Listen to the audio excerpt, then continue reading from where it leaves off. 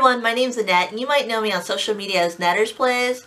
And today's video is a simple response to the Watch It Played Table Talk video, and they posed a lot of questions as far as acquiring games, and also what motivates us at, towards making that final purchase of a game. Now, I make these videos once a month where I go over my acquisitions and impressions. So I managed to get a lot of games in a month and I go over these games and kind of give you my first thoughts and impressions of them. But before I even make those videos or before I even purchase those games, I put in a lot of thought as far as why am I going to purchase this game?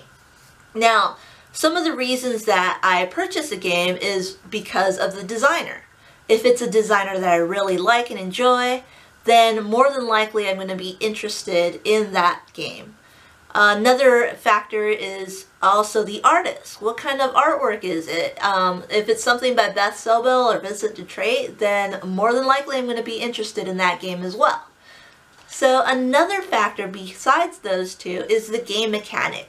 Now there's certain mechanics that I really like and if also there's a game out there that appeals to me because it has a mechanic that I like like worker placement but it offers like an innovative way of using worker placement, well, then I'm going to look into that game as well.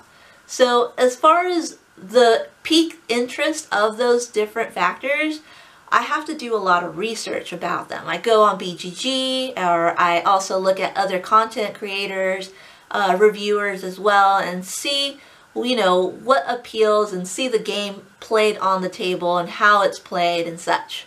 So I, I tend to do a lot of research. But then again, there's also the Kickstarters that pop up here and there, or when I go to a friendly game store and the game is right on the shelf and I just want to get it right then and there. So, I mean, there's always like the research that I put into these games, but then there's also the instant gratification too of purchasing a game right then and there. So um, those are all the factors I can think of. Of course, there's other things too uh, like the cost itself. If the game is really cheap and inexpensive, more than likely I'm going to grab it as well. But those are some of the motivations that I have towards purchasing games. So of course, um, you should also add in maybe some other motivations or factors that you think about before you purchase a game. And you can also leave it in the comments below. And I'm also interested in hearing what other people have, have to think about too. So thanks for watching. I'll talk to you all later. Bye.